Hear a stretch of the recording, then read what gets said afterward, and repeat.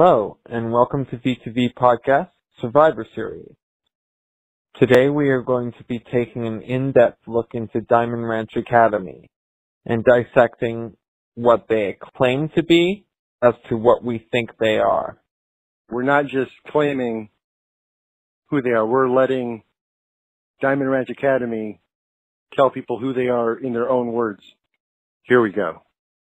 Diamond Ranch Academy is a residential treatment center and so-called therapeutic boarding school in Hurricane, Utah.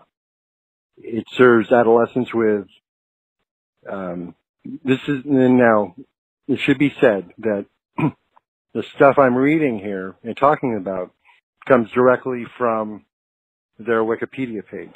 So it's important to understand that Again, this is not advocacy. This is their, these are their own words.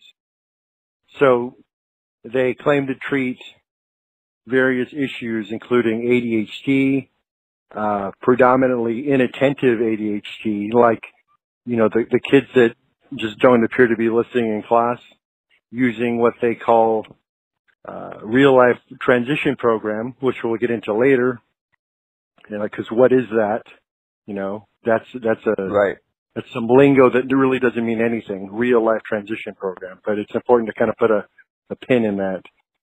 That includes peer participant judicial system, which uses citations, fines, and an appeal process.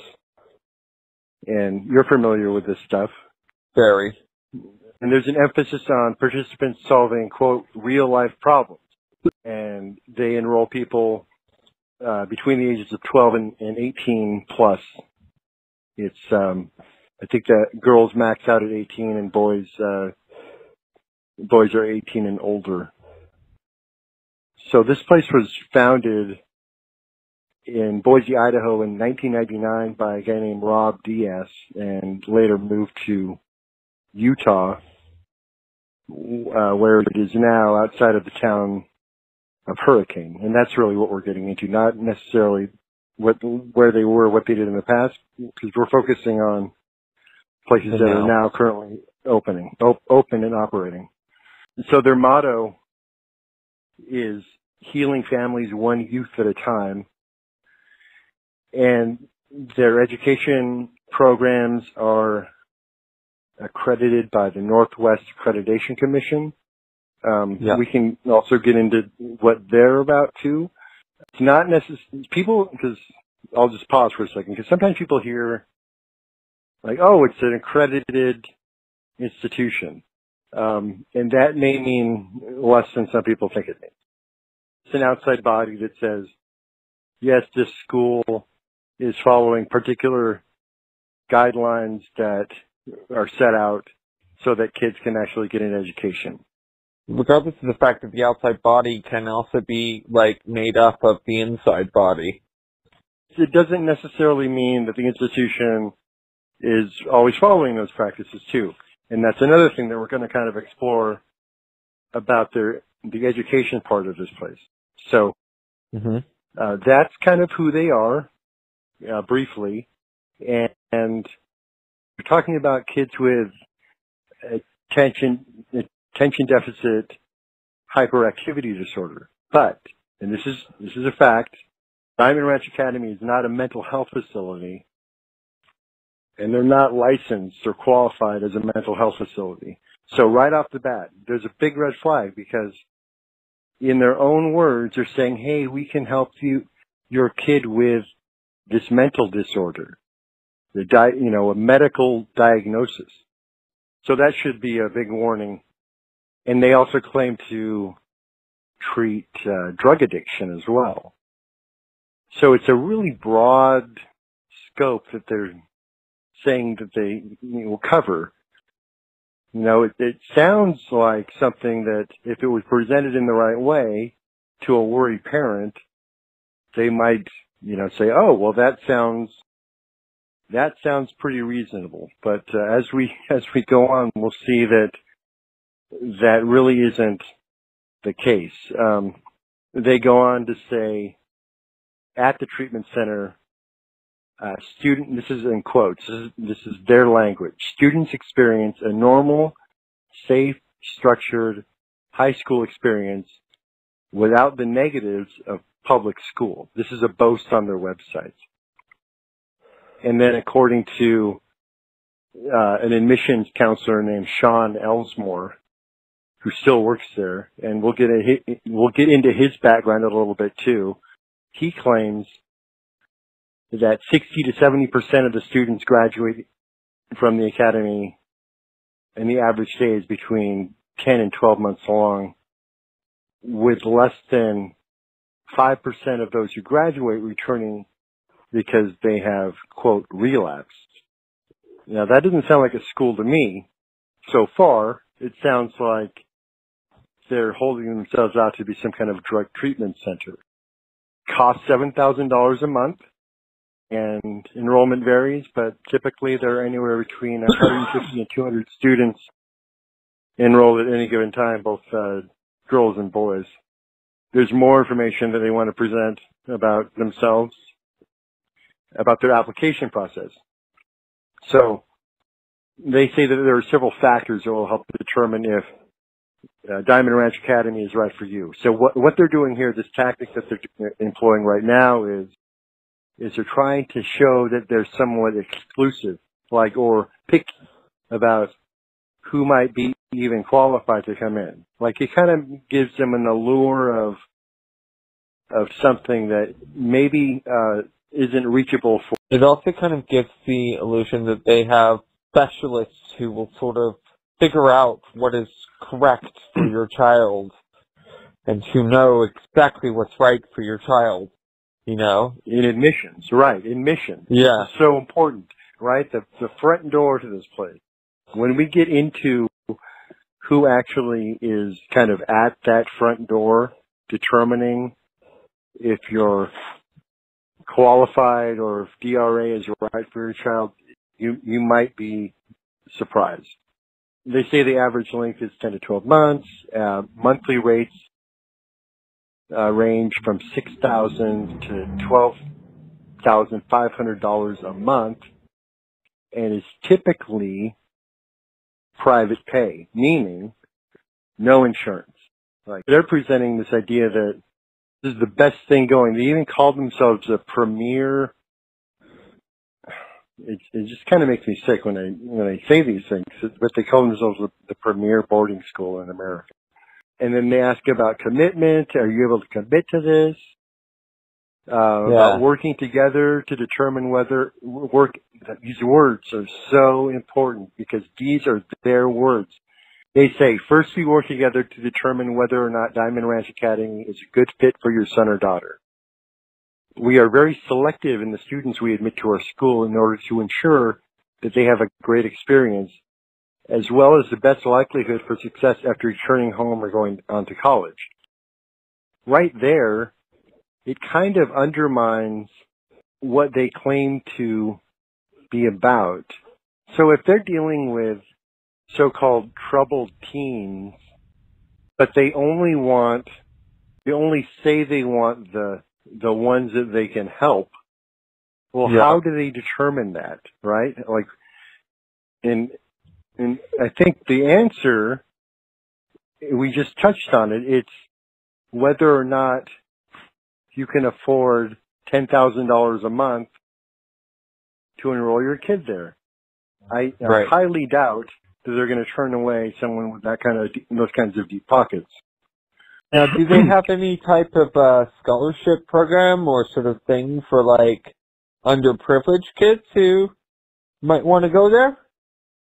They have a an asterisk telling people to contact an admissions counselor to discuss payment options. So you can mortgage your house. Oh You yeah, know, if you Yeah. if you're lucky enough Yeah. to own a home, you can you can mortgage your home and and be paying off Diamond Ranch Academy for 20 years. If your child's needs are beyond our scope of expertise, which I think is an important word, that expertise, yeah. we will refer you to the appropriate professionals.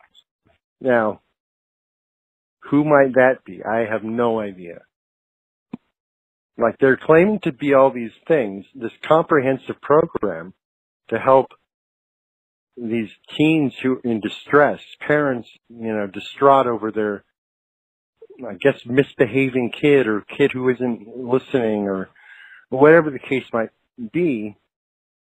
Mhm. When I think about teenagers, I really am having a hard time differentiating between normal teenage behavior and and the type of of kids they're trying to describe here because you know if a, if a kid is quote that bad they say they want to send that child to a more qualified professional so but they wanted to let you know that you can feel free to contact us at any time as you go through the website or Mhm. as you complete the application, we're here to help.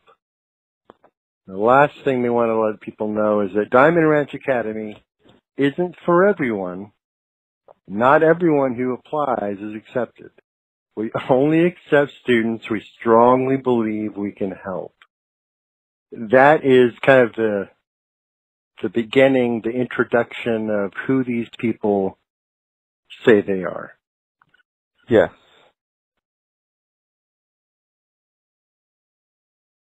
The next area that I kind of want to get into briefly, it's the Utah state requirements um, for residential programs.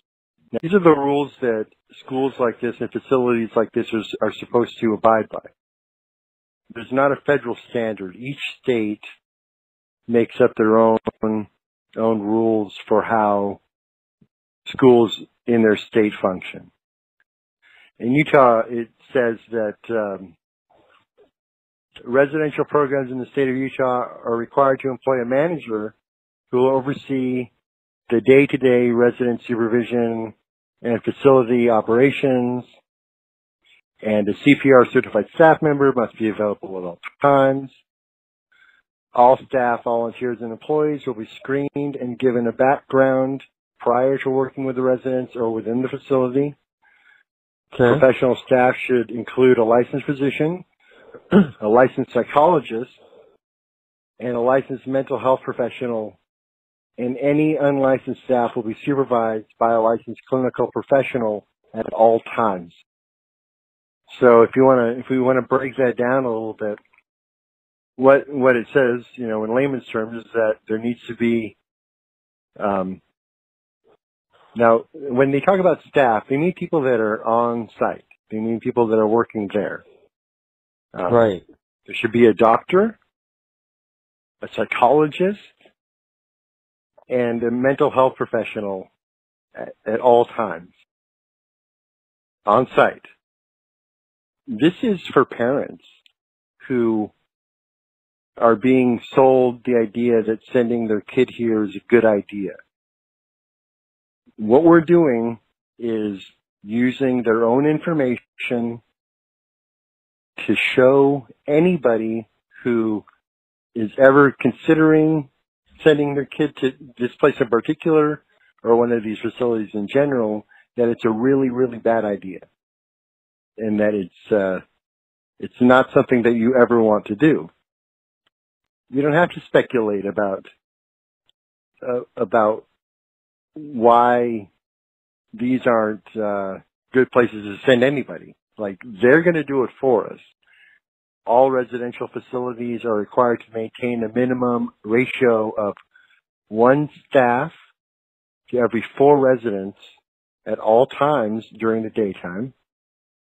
However, night staff may be reduced depending on the size of the facility. Now, and that's because at night, generally speaking, people are sleeping. Uh, staff in residential facilities will have a separate living space from the residents, and all male and Yeah. female living quarters will be separate and supervised. Um, so if you if staff lives there, they can't live with the kids. A single bedroom may house up to four residents or two with disabilities. That's interesting because the disabilities part is pretty broad. A disability Yeah. can certainly be a, a mental health issue. Uh, all residential facilities and treatment centers in Utah must be up to date on all safety and building health codes. get into meals. They must be approved by a registered dietitian.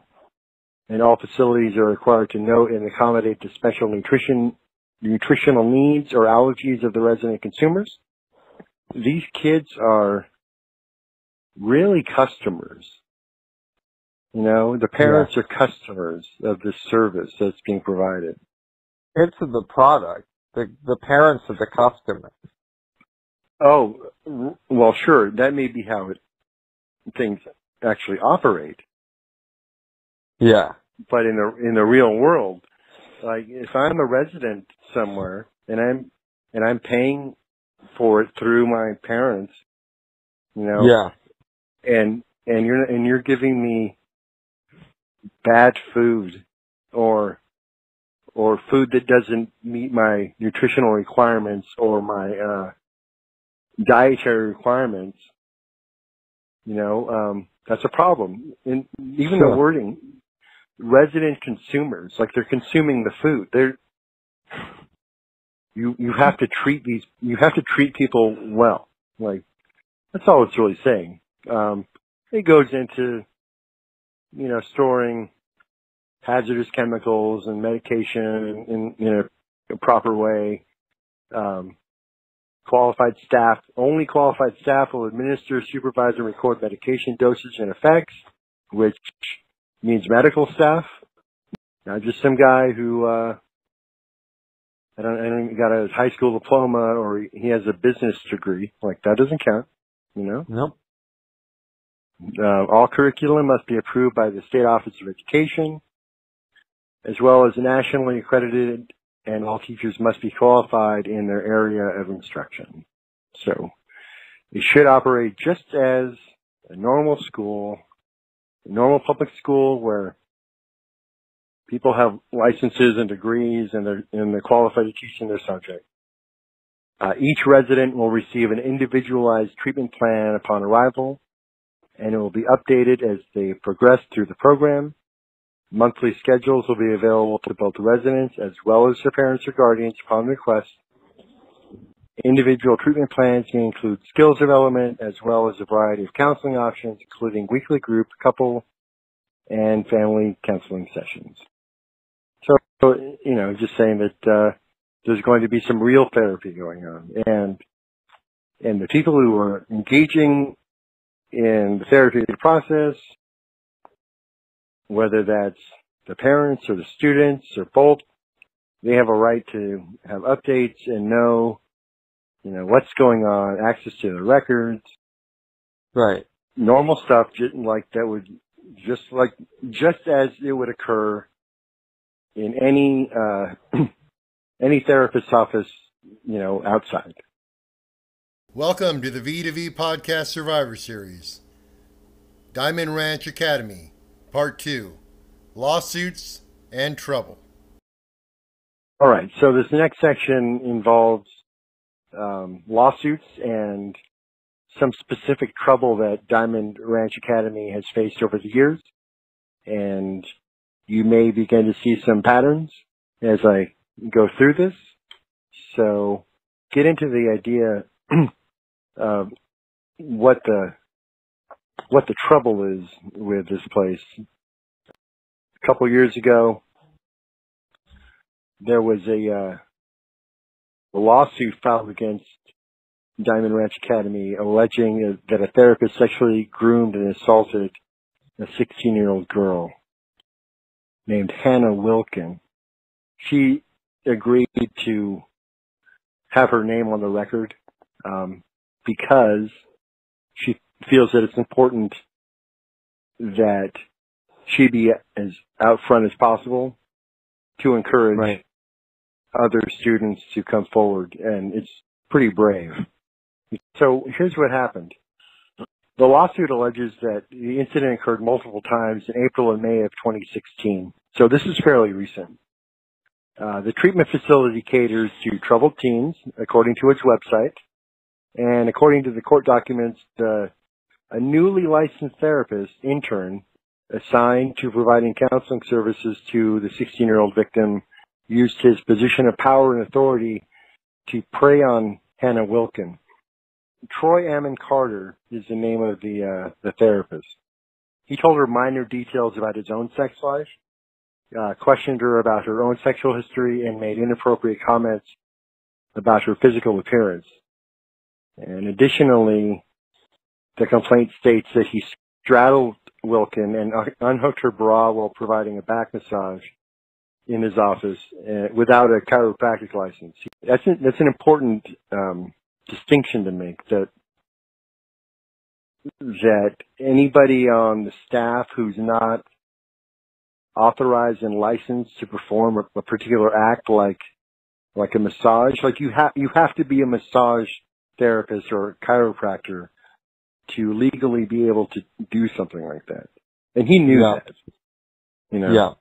you can't just start groping uh teenage girls so carter would attempt to uh, disparage her parents in an attempt to gain her trust and uh and started to detail inappropriate dreams he was having about about her. The windows of his counseling office were covered with uh, brown butcher paper. Wilkins attorney Craig Vernon said that the therapist used the paper to cover up the windows to literally cover up the sexual assaults while they were happening. So, you know, if you're in a room, in a locked room or a closed room with windows and you're a therapist and you're talking to a young lady about issues she might be having, why would you not, why would you not want someone to see that as hap, you know, happen? So you're going to put I paper up on the I- windows. I don't. First of all, like if you're a program manager and you see that a young lady is being taken off to a room to talk to a male therapist, why would you accept that he has his windows taped up? Like, It's interesting that you would say that because the very next sentence, her lawyer says, it's very curious to me that that would go unnoticed. Right? Hey, hey, wh- where's the new therapist guy? You know, the new licensed therapist guy with the, uh, who's uh, counseling the kid, the girl. Oh, he's in his office. Oh, where's his office? Oh, oh, the one with the paper on the window. The problem is though, Marcus, in this situation, there's kind of a ranking thing that goes on where Okay. I feel like the therapist is, is above the unit manager. There's a reason that happens. It's the fallacy of authority. So basically, the mindset here is that the therapist is like, look, I have a master's degree and Right. I have, I have a license and I, I'm a professional therapist and I know stuff. I totally outrank you. So the manager, he has no clue regarding what's appropriate, even though he should. Like, he can kind of plead ignorance and also say that, oh, the therapist said so. So there are these power plays that occur because of a particular document or license, even though it's absolutely wrong, even though the manager is actually in charge of the therapist. These are the same ideas that made Hannah Wilkins' lawyer so curious Yeah. about why Yeah. that would just be considered normal. Right, so you Yeah. make a good point. Yeah, it is a fallacy of authority because the whole thing is fallacy of authority. The entire thing. Top to bottom. As it as this kind of came down, Rick Carter was terminated in May of 2016 for inappropriate physical contact with another student. Wilkin came forward after, right? He was doing this to other kids and got fired for it, and then Hannah stepped up and said, "Hey, this this happened to me as well." Prior to the alleged incidents, DRA required Carter to sign a document pledging he would stop all physical contact with his patients. He had previously been reprimanded for inappropriate contact with multiple male students, and the lawsuit claims that the treatment center provided the perfect environment for victims to be groomed and sexually abused due to inadequate supervision and internal policies. And we're, again, when we, when we get to these people's qualifications, it will be very easy to see why this kind of thing was allowed to go on. So it goes on to say just that the DRA did nothing to protect these vulnerable girls who were isolated and far away from their families. They did nothing at all until it got to the point where they decided they had to fire Troy Carter for continuously fondling and being sexually inappropriate with boys and girls. Washington County Attorney's Office ultimately declined to file charges due to a lack of sufficient evidence. He said, she said kind of situation because of, of course, you know, the paper on the windows might have helped that. If you can't see what's going on, it looks like Diamond Ranch got rid of their problem before, because they knew about it. I mean, obviously they had him sign papers. Right. So they elected to, they elected to get rid of him before the heat got too great where they would become more and more liable the longer this guy was around. It doesn't, this, it doesn't need to get to this point. Like parents, if you're listening, this stuff goes on. It's documented. It's not fiction. If you send your kid away to this place, things like this happen. And you may not know about it. It took this guy getting fired for Hannah Wilkin to be able to, uh, to, you know, courage to finally be able to speak up about it because that guy was no longer around. Oh, the year, the year before in 2015, a teacher there was arrested for possessing hundreds of images depicting child pornography on a personal cell phone and a computer at the school. So this guy, this guy's a piece of work. So Yep.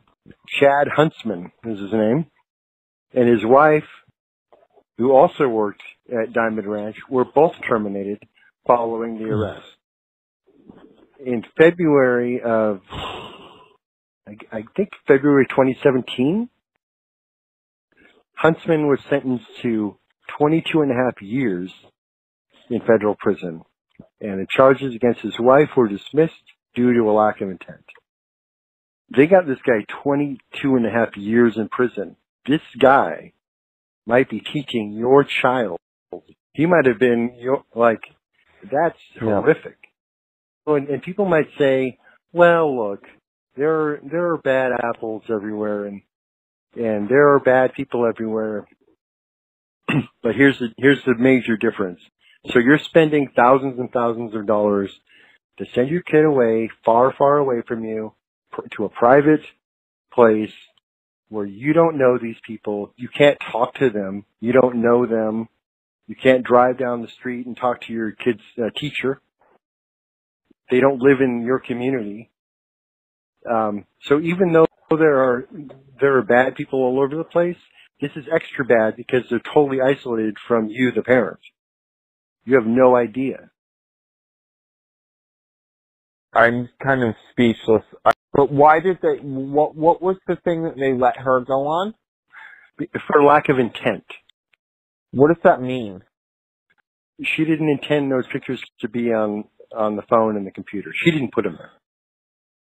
And if, if she had, if these were her children and she, uh, Have ignored I mean, something going on in the house? well, right, right. okay. She could have been, she could have been a different kind of victim Hmm. in this case. So there's another, there's some other incidents that occurred. May 13, we had the suicide. Uh, kid hung Yeah. himself in the shower. Yeah. And follow, following that, the facility decided to outfit all their showers with collapsible rods Right. so that, so that students could no longer kill themselves in the shower. It's not like anyone like looking into why this person did this. It's simply making it so no one can do it. It kind of gets to the heart of something here. Again, like it's it's easy to lose sight, I guess, kind of when you get into the weeds like this, that what this place claims to be. Yeah. therapeutic boarding school. Dealing with mental health. They're dealing with uh, inattentive, depressed kids. They're dealing with, or they're saying they're helping these kinds of things. So look, if, if a kid kills himself, that happens too, right? Like these, all these things that we're detailing happen in the real world. But when things like this happen at a place like this, but then to treat the problem by not doing anything beneficial for the children, it's another one of those big, giant red flags. Like, do you really want to send your kid who you think is having tr- this much trouble to a place that doesn't care about, they care more about the, the look and the appearance of it being a, a nice place than actually treating the children that, that are in their care? Like, no way. The best Yeah. option is to not send your kid away at all and, and man up and be a parent. You know, if I could throw my two cents in. But it really makes you wonder what isn't being discovered and what's going on right now because that was 2016 when uh the girl was getting groomed to be sexually assaulted. So that's it's 2 years later. You know, it's time Yeah. they're it Yeah. sounds like they're due for another incident. It's And true. maybe maybe what we're doing right now is like counter to that incident. Maybe we're the incident. You know, maybe we're like, hey, we we got you now. You know, seriously. Um, there there are going to be a lot of people listening to this, and I hope so. um, it's really important that that all of this information gets out there. And I think I need to take a break.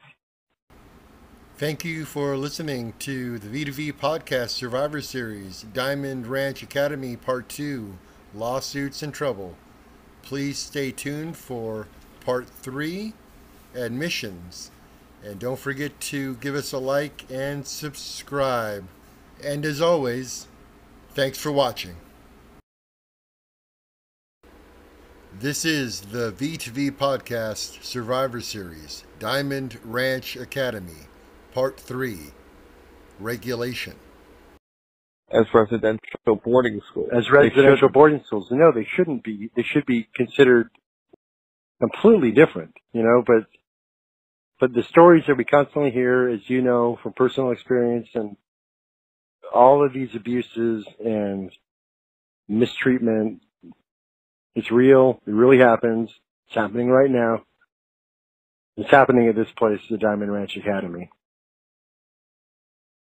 The truth is that Diamond Ranch Academy takes any teenager, regardless of the issues, as long as there's money involved. And the tragedy of all this is, is they either don't get it or don't care to get it or um, have no interest in in actually helping anybody, which really seems to be the truth of the matter. So I guess the bottom line with all this is that, you know, we here at V2V will continue to have Diamond Ranch Academy on our radar our gut feeling based on evidence is that something is very wrong here. Extremely. We get into the idea of supervision. What happens is closer to punishment. The lawyer for Diamond Ranch Academy pops up, Stephen Bangerter, and he says that the program uses restraints only when students threaten the safety of themselves or others. Quote, restraints have never been used for purposes as punishment, he said. He goes on to say that Diamond Ranch Academy does not have a notion of punishment. They don't recognize the idea of punishment there, which is kind of strange because uh, punishment exists. To say that you don't have a notion of it is kind of denying the fact that the concept of punishment is a thing. So it's it's very tricky lawyer, lawyerly language here. So basically what he's saying is that whatever we do to the kids, we don't consider it punishment because we don't believe in punishment. So it gives them license to do whatever they want and then not call it punishment. That's really sick. It's very tricky. You know, these people are, are smart. They employ lawyers who who speak for them in this fashion. So he goes on to say that children alleging abuse should have talked to their therapist. They have a right to contact the child abuse hotline, and the kids have plenty of opportunities to complain. Now, that seems odd considering what happened to the 16 year old girl and her therapist. Is the hotline on campus? I mean, does that line lead to someone on campus? Are you then complaining to someone on campus? Because I had that experience in Texas. Really? So I'm wondering, yeah. They, he says they have the right to contact the child abuse hotline. That's too, it's too broad. When, Yeah. where, do they, are they, are they being monitored? Uh, um, the kids have plenty of opportunities to complain. Well, we'll get into kind of what happens when kids complain. Uh, Yeah. They may have the opportunity, but they may pay a pretty heavy price for complaining. So Diamond Ranch Academy's lawyers adamantly deny abuses ever occurred on the facility. They point out that their program, along with other facilities in Utah, are regulated and inspected regularly, and to some degree, they're right. So how are they right? What does that mean? So in 2005, Utah passed a bill requiring that facilities be licensed by the state. So to keep a license, a facility must be inspected at least once a year to make sure it is abiding by state rules. For example, children ought to see a therapist at least once a week. Restraints and solitary confinement may not be used for punishment. And mail is to be sent and received freely provided safety requirements are met. Those that's the that's the heart of the bill. Right. So, if we want to take a closer look at that, so they have to be licensed. Diamond Ranch Academy is indeed licensed by the state. Um, and to keep their license, they need to have a regular annual visit by somebody, some inspecting something there at the uh, facility every 365 days. So on that day, the inspector shows up and he or she looks around and everything looks great. And that inspector signs off and it's fantastic. It's a, it's a regular annual inspection. So Okay. they did it. Right. Once a year. But restraints and solitary confinement may not be used for punishment. Well, we just read a statement by their lawyer that they don't believe in the concept of punishment. So, Right. restraints and solitary confinement may not be used for punishment actually means that restraints and solitary confinement can be used for any reason we see fit. Correct. And then mail is sent to be sent and received freely. Um, I don't know specifically about the mail. Provided safety requirements are met, I imagine. I imagine the state was thinking something along the lines of contraband in the mail, perhaps. I think that their their mail is monitored. Fully. Right. That's kind of what I was about to say. That that I think the state didn't mean when they wrote this that incoming and outgoing mail should be monitored. They want they want to make Right. sure that contraband isn't coming in and out of the place, or or Right. weapons, or you know things like that. that is kind of the regulatory bit. There's a big announcement on on the inspection day. I imagine that uh, hey, old Joe's going to show up and put on you know put out put out all the fruit bowls. Now we're getting into you know who runs this place. You know who are the people that actually are taking care of the kids. And the first stop at the Diamond Ranch Academy, of course, is intake. The parent got the fancy brochure, they got the phone call, they looked on the internet, They got their money together. They're ready to have a meeting with uh, nice people at intake. This has been an episode of the V2V Podcast Survivor Series, Diamond Ranch Academy.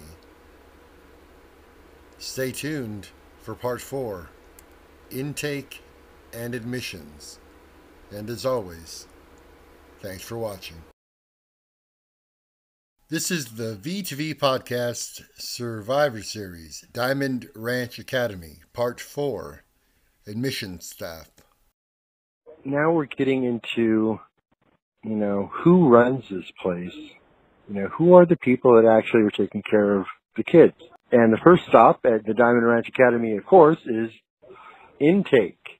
The parent got the fancy brochure, they got the phone call, they looked on the internet, they got their money together, they're ready to have a meeting with uh, nice people at intake. So what we're going to do here is take a look at at these people and who they are and their backgrounds and their work experience and and in some cases a nice little blurb about uh, who they are because in some cases the staff they they write a little something about um, past experience or, or what they're getting out of uh, working at Diamond Ranch, a familiar name appears immediately. Addie Dias. Now, that's obviously a relation to the owner, Rob Dias. I don't know if it's a daughter or a spouse, but that's really neither here nor there, but certainly related. She's um, a member of the intake staff, and uh, Dias is not a licensed mental health nor medical professional in Utah. She doesn't have that kind of experience, so isn't qualified to determine mental health issues, medical issues. She has no basis for understanding that stuff, zero. But she does have an education. And what Addie Dias has learned is she has a Bachelor of Science in PE. She's a, she's a K through 12 PE coach. So let's get into her work experience. Uh, she was the girls soccer assistant coach at Diamond Ranch Academy. She's the girls basketball assistant coach at Diamond Ranch Academy. And she's an administrative assistant at Diamond Ranch Academy. So th- remember, this is an intake person. Yeah, this is like the first person that you're going to meet when you want to send your kid here. It, it's rather unclear about who does specifically what, because a lot of these people have several jobs. The other, okay, here we go. Angie Kazir. She's also works in intake, admission, right? Um, Angie attended one year at Dixie College, which is the local community college, and enjoyed participating in general education courses while there. Mm. As soon as possible, I enrolled in cosmetology school at Hairitage, this is cute, Hairitage Hair Academy. H-A-I-R-I-T-A-G-E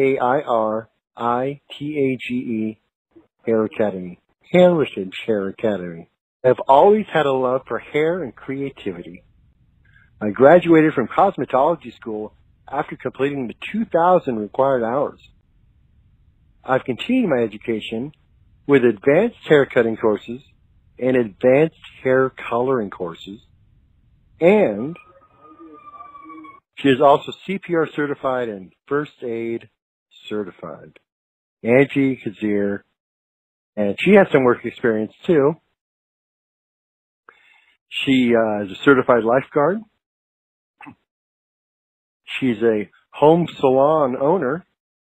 You know what? That's interesting. Home salons, like haircutting at home is generally speaking without a license to do that there illegal. That's not good. Wow. In most, it, well, in most cases, I mean, cosmetology is really highly regulated. I mean, it's it's like medical standards. Yeah. For haircutting stuff because you're dealing with like, human body and potential bodily Sure. fluids and things like that. She's been a home salon owner for 13 years, and I I wonder if she's got all her ducks in a row there. She's also a hairdresser at United Hairlines. Apparently she makes custom jewelry at the Tom Design Shop. And last but not least, Angie Kazir. She's an admissions counselor at Diamond Ranch Academy. You call yourself a counselor, it means something, you know? She's not an admissions assistant. She's not an admissions clerk. She's calling herself, and the school is calling her, an admissions counselor. So what that tells me is that when dear old Angie shows up with a distressed parent, perhaps, and a and maybe an obnoxious kid, I don't know what's going on, but when Angie shows up, she has the air of authority and professionalism because she is called an admissions counselor. Now, that, I mean, that's something that people like take notice of. Oh, counselor. So that's worrisome. Indeed. It's troubling because because although I'm sure she's a fine hairdresser, I see nothing in her background that has anything at all to do with working with um, at-risk youth or counseling or admissions. Like zero. It's appropriate to take a light tone here because it's so serious. Yeah. These are real people taking care of maybe if if you're listening, parent of Diamond Ranch Academy child, taking care of your kid, or potential parent thinking about Diamond Ranch Academy, potentially your kid. If they were presenting the truth, or I mean, they, I guess they are presenting the truth. So it's it's a matter of, you know, you have to kind of dig into this. Like, I, I did a fair amount of research to find this information out, which is all public, by the way. Yeah. But, but again, the parent who's in some kind of need of relief, appropriate relief, or a situation that they don't know how to handle, this isn't the this isn't the solution with uh, unexperienced people. So no. let's move on. So next we have a gentleman by the name of Danny Burchard. And Danny is not a licensed medical health nor medical professional in Utah. He's also, this is also admissions or intake. Okay. They call it admissions. His education, he has a Bachelor of Science degree from in business management from Western Governors University. He has an Associate's of Science at Dixie State College, certified Red Cross instructor, and also something called a certified motive trainer. I never heard that term. I don't know what a, mo- a motive trainer is. But apparently he's a certified motive trainer. Have you ever heard that term? No. Uh, I didn't get a chance to look that up, but perhaps I'll, uh, I'll see if there's any information about what that might be. He also has some work experience. He was a communication systems analyst for the state of Florida, a vocational coordinator with reemployment services. These are the two jobs he had before Diamond Ranch Academy. And then he moved to O and A staff at Diamond Ranch Academy. Uh oh.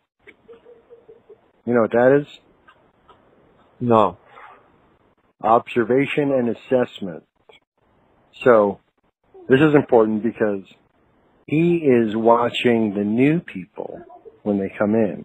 He's observing and assessing new students. It's called O and A now. It's a two week period that Diamond Ranch Academy used to refer as being homeless. Right. It's a really important job. It's, I mean, it's a really important thing to be doing when you're bringing a kid into a, a new, a new thing, a new environment, and you're, you're the one who's supposed to be helping and guiding them through, through a particular process. He's in no way qualified to do anything of that nature at all. So that No. was his first job too. and then he became Wow. what's called head staff, and then he then he got uh, promoted to assistant program director, and now he is a program director at Lava Falls, which I believe is the older boys section. So he moved up the ranks. He's running the older boys section of the school Wow. without any any clear qualification to be able to do that. It's at times like this as we're going through this to remember all that boring stuff that we went through earlier about what the requirements are for facilities like this and, and the professional requirements, certifications and licenses. And so far, these are the frontline staff who have zero they just don't have anything to do with this field and it's it's very troubling. Yeah. Okay, next we have Megan Hanks. Megan Hanks is a teacher. She has a Bachelor of Science degree um, in biology at from Brigham Young. She is a certified teacher, and she uh, she's a tennis coach, and she's a private was a private tutor, and she was a middle slash high school and private tutor for 17 years. So they do have a they do have a real teacher. It just it makes you wonder. Now this isn't anything negative necessarily, but it makes you wonder why Megan Hanks decided to um, start working here as opposed to working at uh, you know a regular high school or private tutor. She, I mean, she was a private tutor for eight years and a, a teacher for 17. So just, you know, not anything bad, but it just makes you wonder, like, what's going on there? They're paying her a lot of money, you know, perhaps. Could be. Then we have uh, Nicole, Nicole Manukai. Nicole has an Associate's of Science from Dixie State College. She has a high school diploma from Laurel High School, and she is CPR and first aid certified. Uh, it doesn't say what her degree is in. I think it's just kind of a, probably a general education degree. That's usually what an associate's gets you. Nicole has worked on and off at Diamond Ranch for 10 years. Wow. That's that's interesting. The on and off part. I took notice of that. Apparently, she's coming and going. Um, well, maybe she had a kid, though. You know, you never know. could be right. So she was uh, work staff, kind of an entry level uh, staff member, and then she became a staff supervisor. And now Right. she is an assistant. Now she's an assistant program director, which is uh, you know she's moving up the ladder too. The the whole idea of program director, it sounds really important. Yeah. me. If you're going to call yourself that, or or that's like the title that you've earned, I would think you know would have the title of something like program director would would be pretty well qualified in whatever program they were directing. Particularly in a multi-million dollar business, you know, uh, or, or school, you know, in itself, it's making millions of dollars a year. You would, Right. you would think, you know, you would think that this person would be, you know, like a Harvard graduate or like a, a doctor or something, you know. Right. Yeah. I mean, or you know, or at least like a some kind of clinic clinical professional or some social worker. You know, something something with Something. you went to school for some time or you have some like thorough education in your field. This next this next one is something else. So Rhonda Hafen. So her education is listed as CPR and first aid certified. Apparently she has no education other than that. I don't know why you wouldn't include your education other people have. Rhonda's work experience is really interesting considering her seeming lack of education. Her work experience is listed as an HR director, Wow. a vet, a vet technician. I don't get, I don't get it. How can you be a vet tech or a, or a human resources director when the only education you have is that you're CPR and first aid certified? So uh, Rhonda has owned many businesses from a silk shop to a candy shop.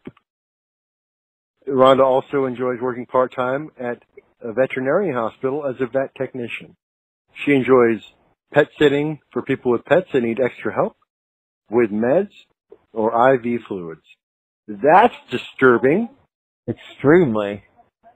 But the part about enjoying pet sitting for people with pets that need extra help with meds or IV fluids, is she shooting up dogs? Because that's not okay. You can't be like giving out meds to the, where is she getting this medication from? The, the Valium that you give your dog is the same stuff that you take.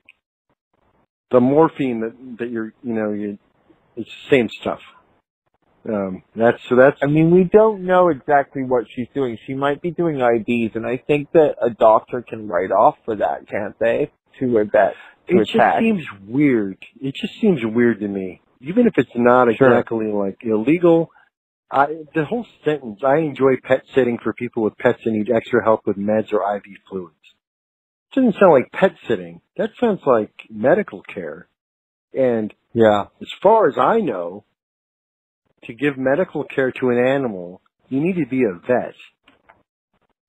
You need to be a doctor. Right. You can't just like, hey, no, I work, work part time at the vet's office. I know So- a lot about this stuff because I see it all the time at the vet's office Right. that I work at. So I I might be a good fit for your. Anyway, enough. Yeah, Yeah. keep going. So, okay, so Rhonda continues. She makes some comments about Diamond Ranch Academy. And she says, there are two reasons I work for, for Diamond Ranch Academy. One is that I know the owners personally and have known them for 30 years. Uh, Okay? So, she goes way back. She doesn't need any education because she's in the inner circle, so to speak. She's known the Dias family for 30 years. I love Diamond Ranch Academy's approach to life as far as having the look and feel of a high school, yet have all of the therapy that's needed like a residential treatment center there every day that makes us special. And I don't even know what this lead is. I think she's also an admission. Uh, okay. okay, so we have another Dias family member. Riley. She's the weekend director. But Riley does not have a medical license or is she a licensed medical mental health professional. She's the weekend director, no education, no nothing. Wow. Then we have uh, Sean Elsmore. He comes up later. So Sean is not a licensed educator in Utah. He is an academic para-pro. That's his title. I think that means an academic paraprofessional, or, or a teacher's aide. Hmm. So he graduated from Centennial High School in 2004. Went to the Community College of Southern Nevada, and he went to Dixie State University, and he went to Western Governors University. Didn't get any degrees. Sean Elsmore was going to two different universities at the same time. He was working this whole time too at Diamond Ranch Academy. Okay, so he was a customer service rep at U-Haul. He it looks like he was there for about a year, and then he started working at Diamond Ranch Academy in February of 2007. He, he's an admissions counselor from 2011 to the present. But again, he's just another one of those cases like he doesn't have any background whatsoever in being the kind of person you want to be an admissions counselor to school. So, okay. Coming to the ends of end of admissions, these are all admissions people. So then we have a guy named Troy Spray. He's titled the uh, Parent Communication Director. So I guess this is the guy that uh, does all the talking with the moms and the dads. Right. So Troy Spray is not a licensed men- mental health nor medical professional in Utah. He graduated from Diamond High in 1991.